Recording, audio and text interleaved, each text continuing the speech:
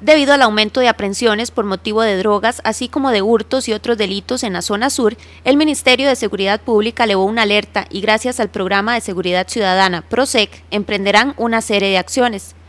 PROSEC es una iniciativa del gobierno costarricense y cuenta con el apoyo de la Unión Europea, quien entregó 13 millones de euros con el objetivo de promover la seguridad y la paz social, logrando un acercamiento de la fuerza pública con las comunidades para buscar una salida conjunta a la problemática. El embajador de la Unión Europea, Pelayo Castro, comentó que la seguridad ciudadana es un derecho que debemos defender y agregó que el problema del crimen organizado debe ser abordado en equipo. El problema del crimen organizado no puede ser atajado exclusivamente por medidas o soluciones locales o nacionales.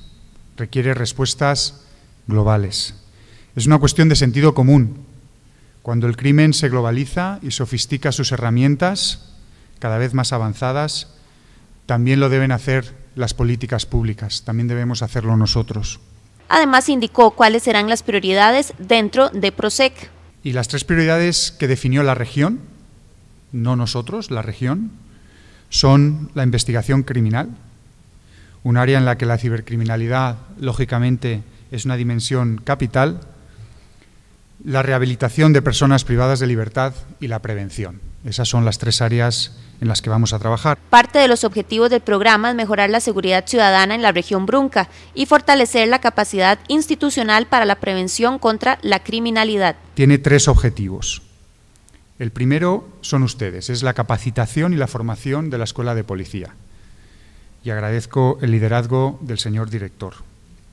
El segundo objetivo es el de los equipamientos técnicos que permitan una mejor actuación. El tercero es el mejoramiento de la coordinación y de la coherencia de los esfuerzos y de todas las instituciones que cooperan en materia de seguridad, que siempre es un desafío. Según datos suministrados por el director regional de la Fuerza Pública, Reinaldo González, cerca del 80% de las detenciones realizadas en lo que va del año en la región están relacionadas con drogas, por lo que este tema será una de las prioridades del programa. Se espera que con la colaboración de padres de familia, autoridades y diferentes instituciones se puedan evitar estos delitos.